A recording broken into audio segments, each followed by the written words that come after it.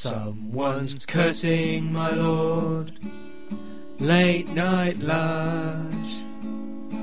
Someone's puffling my lord. Late night Large. Someone's growing my lord. Late night Large. Oh lord, late night Large.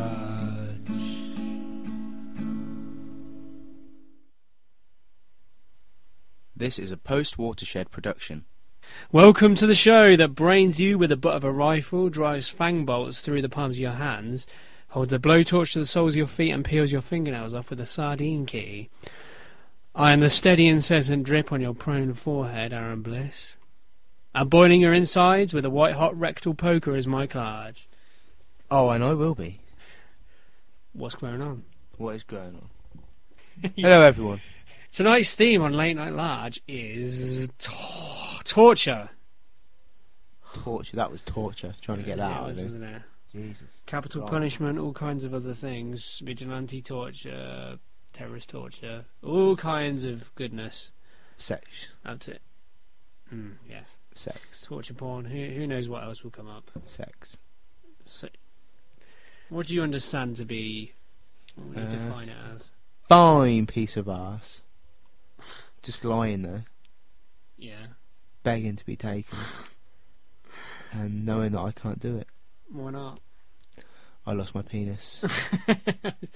Thinking something like that. uh, Or perhaps you were manacled to a tank. You were excused for your inertia. So let's kick this. Uh, let's get this party started and kick the shit off. twist your melons. and fire it up, fire it up. We are talking about torture, and if you say that to someone initially, I'd imagine one of the first things within their definition will be something that man inflicts on another man, or men, or women, or women inflict on man, etc., etc. Yeah. Anyone who says it is exclusively in the human domain, I will say, have you never seen a house cat playing with a dying bird? Have you ever heard of a fucking spider wasp? Have you heard of a spider wasp? Those those bastards actually capture spiders, paralyze them, lay their eggs inside them, yeah, yeah, and allow their young to feed on the dying spider, who may take many, many days and potentially weeks to die. Now that is something that mankind would be proud of being able to say they did.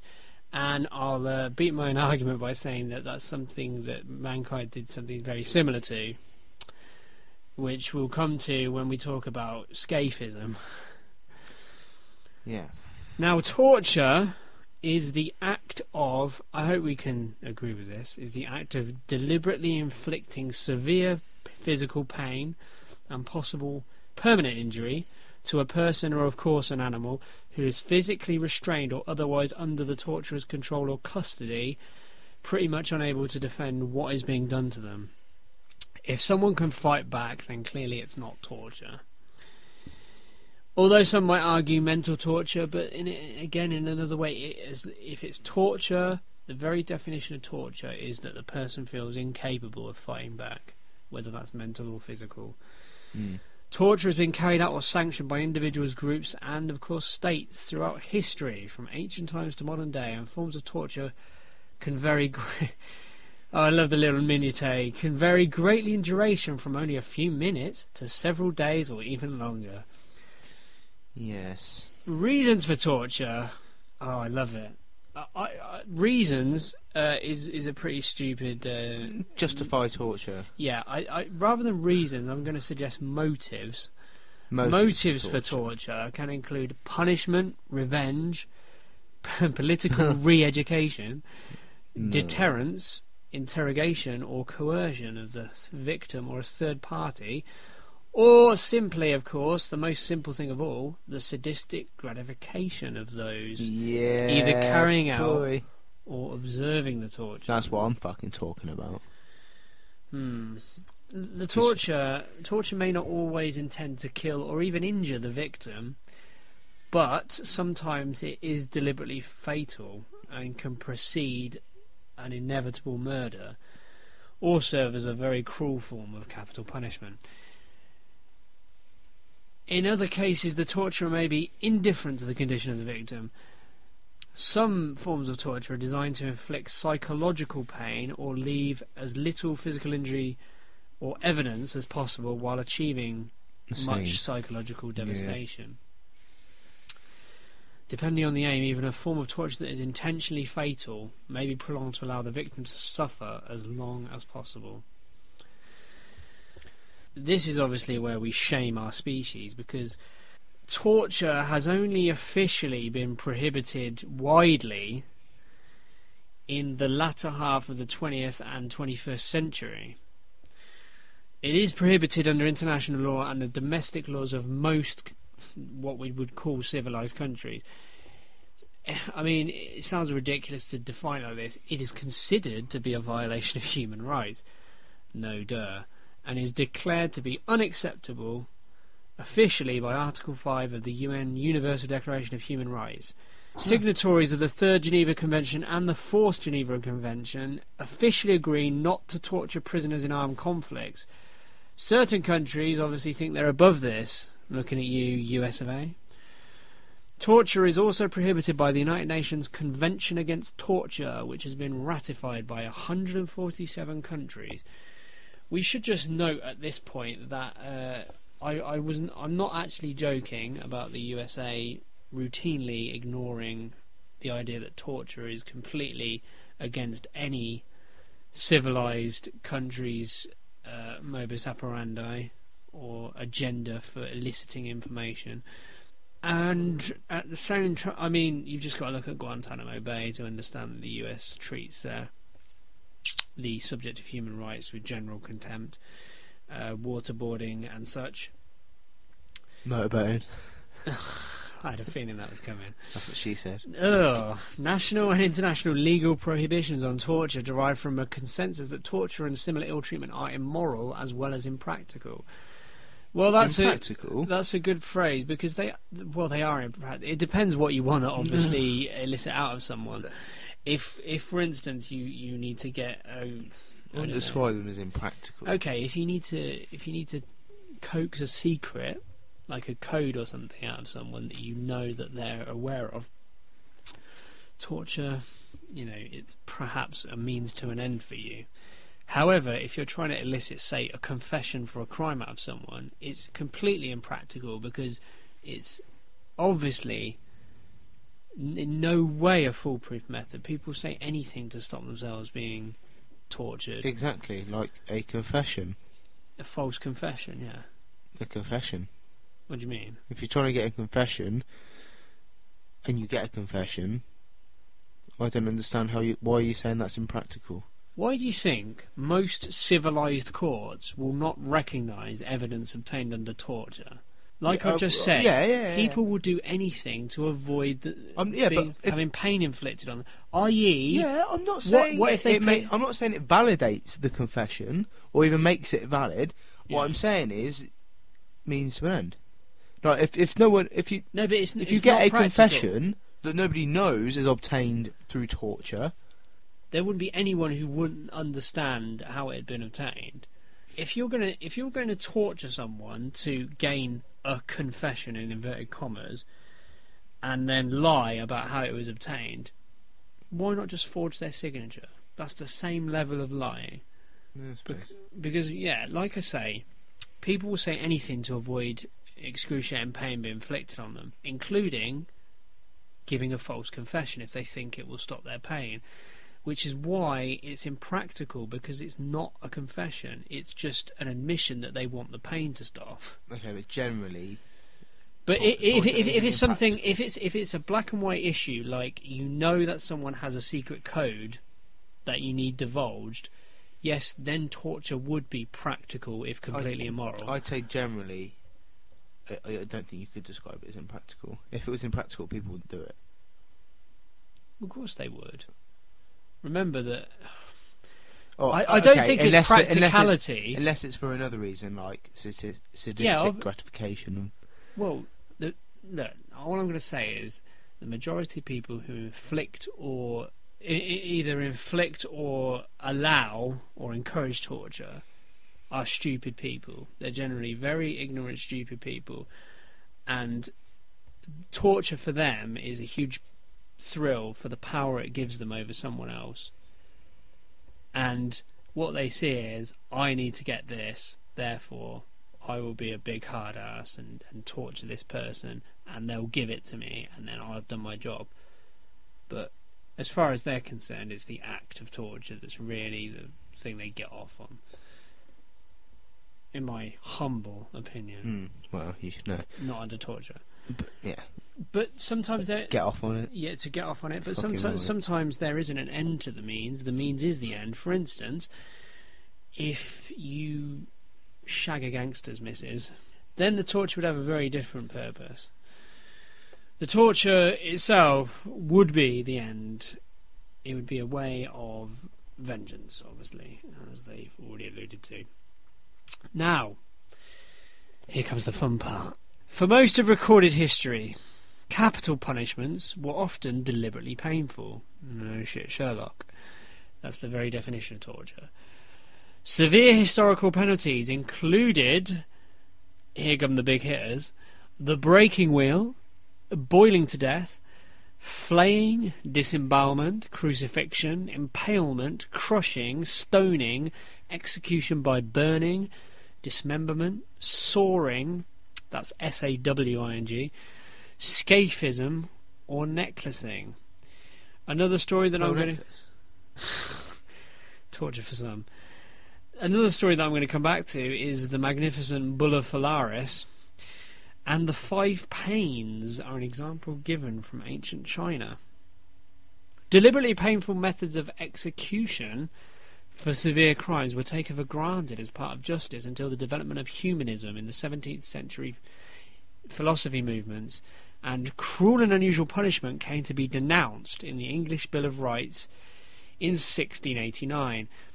Torture was, of course, prevalent and uh, well thought of in the Middle Ages, particularly medieval Dark Ages. The adoption of the Universal Declaration of Human Rights in 1948, only after two world wars, did we get an official call to arms that said, "Listen, let's let's not deliberately hurt each other very, very badly." marked the recognition, at least nominally, of a general ban of torture by all UN member states. Its effect in practice is limited, as the United States has proven. However, as the declaration is not ratified officially and does not have legally binding character in international law, but is rather considered part of customary international law. I mean, what a joke. But of course, laws are applied by countries, pretty much every country in the world considers, for instance, murder to be a crime. You can't have a completely binding world court that would consider torture or could prosecute someone from any country for torture or prosecute a country for torture. Laws are generally applied by country. I know obviously there are international criminal courts and The Hague, but that's a different story. Let's start talking about these devious methods of torture. First of all, do you remember any of the big hitters of torture? Get, get, get, throw out, throw me out some, uh, throw me out some celebs, some icons from the world of torture, people who were renowned for deploying torture as a particular method in their madness. Well, one that springs to mind, possibly the most prolific through history, Go on. Mike Large. Ah, shut up. Oh, yeah. Basically, yeah. yeah, I've heard about this guy. You get in his grill, and um, shit goes down, Yeah. and you'll wish you hadn't. But never in the toilet. No, no, never in the toilet. Oh dear. All I can No, say no. is, uh, if you come round Large's gaff, post no bills. No, uh, there's lots of civilizations in history that use torture. Well, nearly every in No, I'm thinking of the big hitters. G- g- give me some. Uh, fuck's sake, Mike. what, like the The Romans. obvious, yeah. For instance, Let, let's think of, think of some obvious Romans. I don't know Nero. What about uh, Caligula? That's a great example. He loved a good torture, didn't he? He Yeah. loved watching it anyway and getting his rocks off. Okay, what about another one? Here, here's another one. Genghis Khan. Oh, Fucking loved it, didn't he? that, that boy was mental for it. He loved a bit of cannibalism as well. Oh, fair play to him. Fair play. Do you know what I mean? Can't go wrong with our man Genghis. Vlad the Impaler. Yeah, yeah, yeah. All giving it loads. Wasn't there some uh, Go on, grow on. some some guy at, at some point in history Go got on. some sort of big like wooden thing and like, like nailed to it and left there. All was right. it was it, it like kind of a cross shaped Was it? thing, yeah. Oh yeah. What was was was it? Uh, Apparently that happened or oh yeah. This, uh, I hear I don't know if you've heard about that or Yeah, he was some kind of king of of something or other, and uh, he uh, his, his dad was a bit of a big cheese, was he? Something like that. right? I- it rings bells. Well, maybe it was because he was a carpenter. You know, the irony of the thing. Maybe his carpentry was so bad that they, Yeah, you know, So- na- nail him to a piece of wood. Uh, I don't know. yeah. Anyway, Selling people dodgy en- shit. enough of that. Can we think of any more that, that loved a bit of torture? Personally, maybe maybe Stalin. Uh, I bet he loved a bit of torture, didn't he? Uh, Po- Pol Pot. I know. I bet he wasn't adverse to it. uh, hang on. Well, Hitler, Anybody else? I- I'm I'm thinking of Fritzl. yeah no Yeah. true yeah he loved a bit of torture didn't he Yeah, just going, you know, moving it, moving it elsewhere. Think outside the box. Yeah, people who seem to take a lot of pleasure Me. particular pleasure shut up in their uh, You. in the act of inflicting horrible pain on other people. It's one of those taboo subjects, isn't it, Mike? It is. Great suffering. We don't like to talk about it. And we're obviously going to talk about it Ah, quite you say that. flippant, flip. We're going to talk about it quite flippantly tonight because, of course, though we have respect for the the dead, their pain's over. Fortunately, Ours goes on. And we glory in uh, the pretty despicable and reprehensible methods that we use to dispatch them. Oh my god! It just just reading this, you have to laugh because otherwise, you just you just break down and, and kill yourself at the the the contempt that human beings should be held under of what they do to each other. And you can you imagine if mankind had deployed all of the massive efforts and creativity in methods of torture and killing of each other if they devised that and moved it towards health and equality and other methods of perhaps ensuring a prosperous and happy survival and progress of the human species. Anyway, I thought we'd uh, debate some of the more debased torture methods, Mike, here. Absolutely. Uh, we're talking about European states abolished torture, torture from their statutory law in the early, late 18th and early 19th centuries, etc., etc. Uh, tortures before that included the chevalet, in which an accused witch sat on a pointed metal horse with weights strung from her feet. Decent. Of course, torture again. You know, witch. I mean, wi- the witch hunts.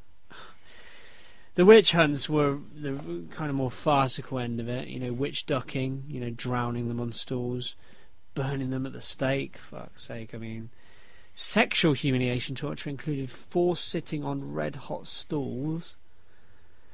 Grésillon, also called pennywinkies in Scotland, crushed the tips of fingers and toes in a vice-like device.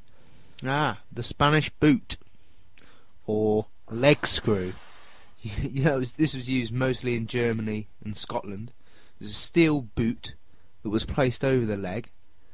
Uh, basically, then you tighten it up, and uh, shit goes down. The pressure from the squeezing just shatters the shin bone, like into a million pieces.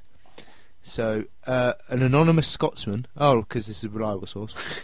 so, some Scottish bloke uh, said that it was the most severe and cruel pain in the world. Thank you, Wow. Scottish bloke, for your input. Yeah. We will be right back after another break to allow you to. Yes, I like what you did there. To have a glass of water and uh, take a, some brief uh, brief relief from uh, the agony that were inflicted upon you. Don't be a puffin. Listen to Late Night Large.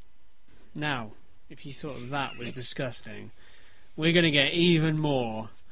We're going to get right up to the elbow in your guts. As we're discussing torture, methods, the madness, the melancholy, the Machiavellian plans of. The raging hard on that can Ah. sometimes follow. Yes. Oh my god, this is horrendous. the échelle, more commonly known as the ladder or rack, was a long table that the accused would lie upon and be stretched violently. You won't be surprised to hear that. That's a classic in any torture museum. I should just say, by the way, Go on. uh, I've been to the torture museum in Amsterdam. It's quite cool. Yeah? The torture was used so intensely that on many occasions the victim's limbs would be wrenched out of the socket and at times be torn from the body entirely. On some special occasions, I love how they say special, Special occasions, as if it's a birthday. A tortillon was used in conjunction with the ladder, which would severely squeeze and mutilate the genitals at the Ah. same time. uh, uh, Oh. Similar to the ladder was the lift. It too stretched the limbs of the accused. This time, however, the victim's feet were strapped to the ground and their arms were tied behind their back before a rope was tied to their hands and lifted upwards. This caused the arms to snap before the horrific portion of the stretching began. People are fucking sick. They really are. We haven't even glossed the surface of these ridiculous. Ah. Okay. We're going to delve back into the ancient history. Going back to those iconic versions that we mentioned earlier. Mike, what do you know about the breaking wheel? Sorry, I'm still holding my balls. Ah, come on, what do you know about the breaking wheel? What do I know about the I remember breaking? reading about this in secondary school. Uh, refresh me. I will refresh you. Open wide. Basically, Oh, victims. oh, basically, victims were tied, much like you would be to a crucifix. They were tied, strapped to a stone wheel. The wheel, which I imagine would be uh, platformed on some kind of a spinny or I don't know piece of wood that it would then rotate around in some way. They'd be strapped to the wheel, and you would um, you would rotate the wheel round. As you were rotating round, you would bludgeon their limbs with blunt objects, perhaps stones or clubs or pieces of wood, and smash their limbs to pieces as they were being spun. Decent. Sounds like good yeah, yeah, oh, fantastic. Sounds like a bit of a laugh. Eh? Boiling to death, that sounds something like might happen in a witch's cauldron. Yeah. Grot, Grotbags, you have a lot to answer for. Flaying, well, it's one of those great things that the uh, Bible's given us as well, because I believe one of the apostles had it done to them. It's uh, it's peeling someone's skin off. Uh, disembowelment, like most things, they had it better in the early days. They did it nice and clean. They sliced the belly open and let the guts fall out.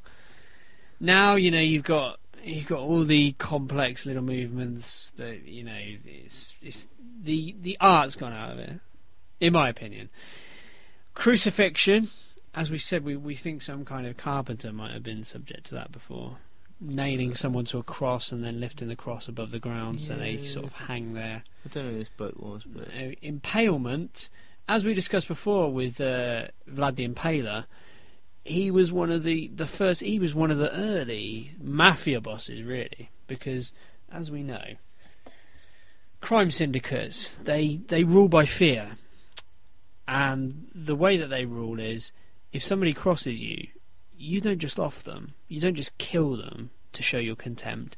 What you need to do is send out a message to anyone else who might consider doing the same thing that not only will you be killed, you will suffer like hell and you will be humiliated. Vlad the Impaler knew this, and the way that he terrified his enemies, because of course he was one man, and one man can be overpowered fairly easily unless people are terrified of the consequences of potentially going up against him. Vlad the Impaler, he'd uh, you know he'd, he'd knock people around until they were pretty docile. He would then he would then insert a large wooden stick pole, probably sharp at one end, usually at the anus, and keep feeding it until it eventually came out the mouth. Now, although this would do a great amount of damage to people, it would not kill them usually. He would then, using I'd imagine a few men, lift the pole off the ground and plant it there so that people would eventually slide down the pole over time and potentially take hours or even days to die from the experience. In the meantime, their suffering, their wailing, their oh, contorted agony would serve as a warning to other people who felt like they might be crossing Big Vlad. Pretty good way of doing it, really. Yeah. I heard it's your preferred way. One of. Well, One of. your butt plugs anyway. The uh, crushing, stoning, That has a very different meaning these days. By execution by burning. burning. Again, that's I've got to say, the witches at the stake are absolutely horrible. But why don't we throw in right now? In fact, no, we won't because it's just coming. Dismemberment. Uh, we know what that is. Is cutting off your appendages, arms and legs. Just Anus. t- turn you into a, turn you into a, you know, horrible. Uh, sawing. I, I mean, I believe another one of the apostles was actually sawn in half. That was uh, that was another method of dispatching them. Now we get into the good part. Scaphism. Do you know anything about this, Mike? Have you heard of scaphism before? Um, I think so. It sounds like an interesting word term, doesn't it? Yeah. Uh, is also known as boating, I believe. Something similar. Boating. Yeah. Now I've got you intrigued now, haven't I? Yeah. Now, basically, the reason it's known like that, just just quickly imagine, if you will. I'll paint a picture in your mind. Just Oh, imagine. I'm sure it would be a lovely picture. Just imagine two very small boats, say one-man canoes. Oh, yeah? pleasant picture. Okay, just imagine them. Now upturn them and stitch them together so that they're completely bound together. But there's a person between them. So you've got a person inside there. You cut a hole, obviously, for their arms to come out. There's a little hole for their head to come out with their neck. And maybe there's some holes cut for their feet. Right?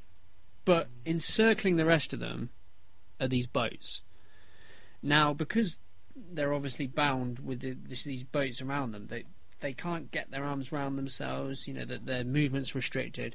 They'd be force fed like rich foods, honey and something else, to the point of being sick and potentially shitting themselves. They would continue to be fed until they were in a you know a pretty dire state, maybe passing out. Once this point had generally been reached, the rest of the honey and sweet stuff would generally be smothered around their faces and arms and legs. You can guess where this is going. They would then float them out on a lake or some such body of water. Now, as you can guess, their uh, their bowel movements would make it smell and and smell pretty horrendous and give them lots of sores and horrible things inside the boat section. And of course, smearing the sweet stuff on them attracted parasites, especially flies and potentially stinging insects like wasps. Thereafter, the torture took care of itself, because if lying in your own crapulence isn't enough, you then have parasites potentially breeding around you and potentially stinging and eating you. That, my friends, is the glory of scaphism. I think I read about something similar. I think I read about something similar where somebody was like strapped to a tree or something and had their their insides carved out and basically sweet stuff was was like smeared inside them in order to attract ants to eat them from the inside out. I swear I read about that somewhere.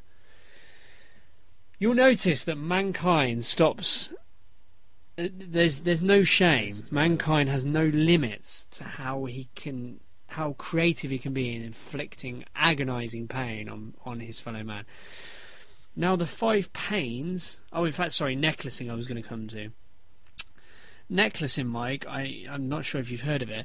It unfortunately was prevalent, I believe, in apartheid South Africa, and I think that's where it came to the public consciousness. It's, it's just horrendous. You basically put a tire around someone's head and neck, and you pull it over so one of the person's arms kind of fit through it. Thereby, they can't possibly remove the tire. The tire is soaked and filled with petrol, and you then immolate them. Yeah, Ah, that's yeah. that's necklacing. That's absolutely horrendous, and I believe, like I say, that was active in apartheid South Africa.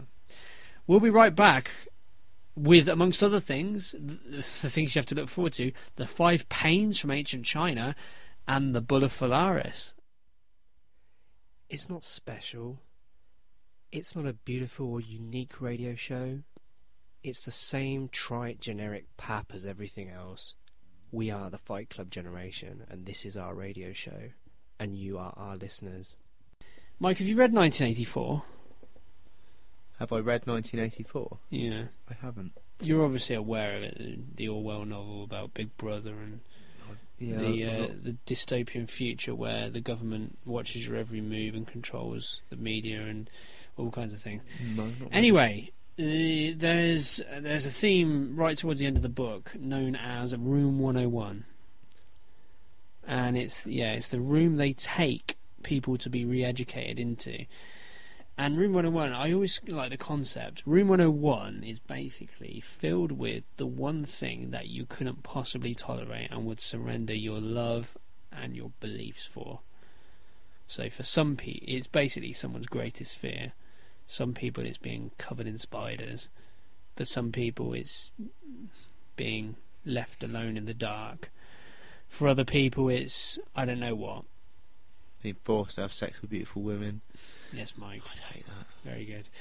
No, seriously, can you tell us what your what would your room 101 consist of? Do you think? Being forced to have sex with beautiful Oh, shut up! Uh, just in case someone ever plans on doing anything like that to me, that's uh, that'd be right?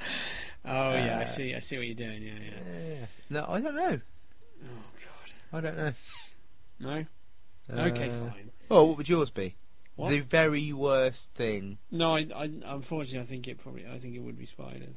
I, I just I couldn't. They would you know they're talking about psychological torture. While we're on the subject of psychological torture, I want to throw out a few psychological torture methods.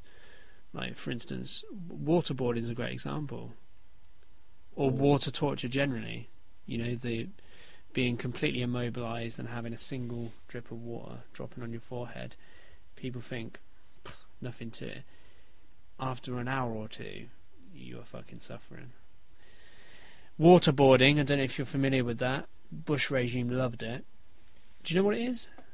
Similar to, similar to jizz boarding. For those of you that Ah, it's not, and it's not similar to Ouija boarding either.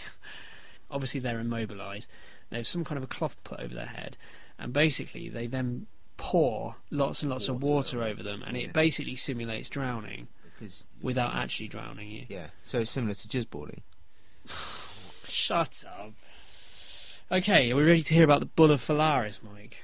I- I- Ancient Greece is the Oh, story. would be good then. it's the story- Greeks- the would Greeks, good. oh, the Greeks and the Carthaginians, and I mean the Crusades. That's another example of uh, some horrendous atrocities. Anyway, the the Brazen Bull is the story of the Brazen Bull uh, proposed to Phalaris, who I think was a king in ancient Greece in mid sixth century BC. Basically, he was a he was a sadistic bastard, and he he sent for his greatest engineer or something, and he said, "Listen."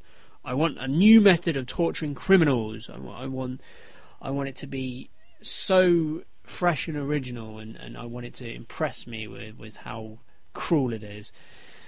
So the uh, the engineer went away and he, he worked as hard as he could, and he came up with this devious idea. He built a brazen bull, which was basically a statue made of I think cast iron or something similar Oh, I do know. Actually, and it had it basically had an opening in the bottom that could be sealed shut. And what you would do is you would force the criminal up inside and seal it shut. And you would then light a pyre underneath it. Yeah, yeah, no, I have. I'm So it was this. basically like an oven. And the reason it was so creative is because the wailing of the person boiling alive inside was supposed to sound like a bull wailing, and smoke was supposed to come out of his nostrils, and it was supposed to be a big show. Anyway, he got his uh, comeuppance anyway because the, the king was so impressed with it, he sent his engineer to try it out. Although he came to a happy ending because he only cooked him until he was almost dead. And then he pulled him out and I think threw him over off a cliff or something. so there we go, big happy ending. Now, the five pains of China, Mike. Five punishments. Uh, oh, hang on. Five punishments in Imperial China. They're not actually that bad. Oh my god. I was just reading the, the five punishment for female offenders. One of them is Oh. permission to commit suicide. You may Jesus commit suicide. You must grind grain. Wow. Uh, oh, okay. Five punishments in ancient China. Let's go with these because these are uh, a little bit more grisly. Okay, uh, offender would be tattooed on the face or forehead with indelible ink. Not Hmm. not great. Offender's nose was cut off. Better. Amputation of the left or right foot. Or both. Some claim that this punishment involved removal of the kneecap. Jesus, they've been. Uh, that's where the IRA got it then. Male offenders' reproductive organs were removed. The penis was removed and testicles were cut off. And the offender was sentenced to work as a eunuch in the imperial palace. That's where they came from. And the death sentence execution, quartering, boiling alive, tearing off an offender's head and four limbs by attaching them to chariots. Yeah. Um, wow. Where do you stand on hang, drawing, and quartering? I'm all for it. I was just, oh, sorry, I was just reading about the uh, um, Imperial China five punishments. Yeah, Uh, that's, that's pretty stupid. Yeah, Do you want to I'm know about it? Do you remember Bring hang? back. Sh- Shut. Do you, what, bring no. what do you remember about bring hang, drawing, and quartering? What do you mean? What do I remember about it? Uh, what is it? Come on, give us a. Publicly hanging people and drawing them and then quartering them. Yes, but they hung them until they were nearly dead. They weren't actually dead, did they? So they pulled them down while they were still. Like like half hanging, yeah, half hanging. Then uh, drawing them. Which is probably worse than being hung. drawing them was basically uh, cutting them from groin to sternum. Yeah. So their insides were exposed. And then quartering them was cutting them into four pieces. Although quartering could sometimes apply to tying their arms and legs to four horses Yeah, and then driving say, them yeah, apart. Which, uh, I mean, that's wow, that, that's just absolutely outrageous. But no, I don't- I'm bring it Yeah. Oh, shut up. Okay, I know a few people that. should where do you stand? on At, where do you stand? Shut. Up. Where do you stand on bamboo torture? Bamboo you heard torture. about that? It's not so much torture as just So- execution, but it's obviously it's quite torturous. Bamboo torture. Uh, You basically tie. I think you um, you tie someone down and you force feed them bamboo seeds. And I don't know if you know about bamboo seeds. They they grow in record time, like a few hours. And basically, you, you strap the victim down, and then you wait until the bamboo actually grows, and it's so strong when it's growing, it will actually burst through the body. So that's how you uh, finish them off. really? Yeah, no, seriously. How does it grow? It grows, it grows. What does bamboo need to grow then? Not much, clearly. I But- think just moisture, probably. What in the stomach? The acid would that not destroy the seed? Interesting. Well, no, it's an interesting point, but obviously it doesn't because it's uh, probably. I'd imagine it wouldn't be still used today, but no, it's um. Hmm, I might eat some bamboo seeds. Now I used to. yes, Mike. See what's going on. The only thing you're not going to be eating is a KFC mini fillet. We haven't even touched on, you know, the Oh, Gre- the Greek myths. Do you remember the uh, the way that they said they used to torture people who offended the gods? I mean, for instance, do you remember the story of Tantalus? Tantalus? I mean, it's where probably we got the word tantalize. No. Do you not remember it? He, uh, oh, I can't remember what Tantalus actually did. There was his face that was like had to then like hold up for the world or whatever. oh, Atlas. Atlas, yeah, that yeah. was a good one. Sisyphus. You ever say to anyone, "I've got a Sisyphean task"? It's where he had to roll a boulder up to the top of a hill, but the top of the the top of a mountain, but the top of the mountain wasn't big enough to hold a boulder, so it would always roll back down. So he had to do it eternally with no like. Ixion, Ixion was as, as a murderer, and he was set rolling around the sky, strapped to a wheel of fire. Then there was, yeah, then there was uh, Tantalus, who always really intrigued me. His punishment was he was uh, he was stood up to his neck in a pool of water with a tree of juicy grapes overhanging, and the plump grapes were hanging literally just above his head. Every time he reached for the grapes, they'd move a little bit out of the reach of his fingertips, and every time he bent down to drink, the water level would sink. So he'd be tormented by hunger and thirst for the rest of his days. Do you remember what happened to Prometheus? Chained to a rock, Oh, had an eagle. Was it an eagle? vultures, wasn't it? No, I think it was an eagle. An e- I think an eagle. An eagle flew down and, and plucked out his liver every day, and he'd be in agony for the rest of the mm-hmm. day. And then the night time it would heal back up, and the same thing would happen the next day. That was punishment for sh- giving man the gift of fire. Yeah. So many movements that have inspired torture. You know, the Inquisitions, the uh, the Crusades, the Roman Empire, uh, the Third Reich. Well, yeah. What Stalin's Russia. I mean, there have been so many institution- institutions that have, uh, and let's not forget the mafia, especially in Mexico. Mexico, there's some bad shit goes down yeah, there. Mafia got some shit going down from. Some really horrific, horrific crimes. I've always thought that, I mean, the kind of the kind of rape squads that go around in African dictatorships. That that just sounds pretty horrendous. Just going through and slaughtering all the men in the village, raping the women and children, and burning their houses. Sounds fun. Shut up. Sounds like a good time. Yeah.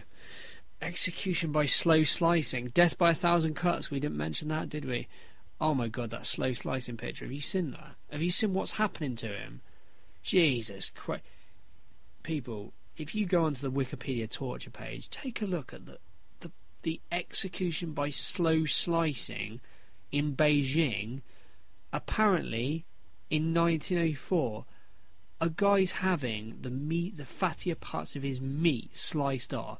He's got his pecs cut off. He's got his thighs sliced off. People, you should be fucking ashamed of yourself. You human beings, you're going to hell in a handbasket. Decent. Despite what's been discussed tonight, torture is neither fun nor glamorous. Please don't indulge in it. but by all means, read about it, because only by reading and learning about these things do we know how what mankind is definitely capable of, and not to repeat history. And we will grow you next week. Be excellent to each other. Please don't torture, no matter how tempting. Unless, of course, it's wanted. Well, S and M, who knows? We should have gone into that more. Good night.